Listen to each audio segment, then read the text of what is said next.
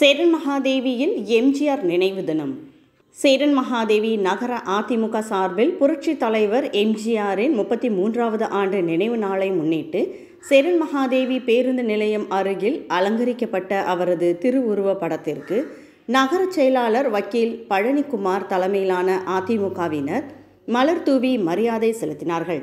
இதில் இலக்கிய அணி மாவட்ட செயலாளர் கூனியூர் மாடசாமி கூட்டுறவு வங்கி தலைவர் முருகன் நைனார் மாவட்ட பிரதிநிதி முத்துக்குமார் நகர அம்மா பேரவை பொறுப்பாளர்கள் பீர் காதர் பாலச்சந்திரன் ஆறுமுகநயனார் கூட்டுறவு வங்கி இயக்குநர்கள் அமர்சிங் மகாராஜன் வார்டு செயலாளர்கள் முருகேசன் சிவனு சவுந்தரராஜன் சுப்பிரமணியன் தங்கையா நம்பி வழக்கறிஞர் இசக்கி செல்வகுமார் சுரேஷ் முத்துசரவணன் ஆதி முகமது பாலன் மாரியம்மாள் உட்பட கழக நிர்வாகிகள் பலர் கலந்து கொண்டனர்.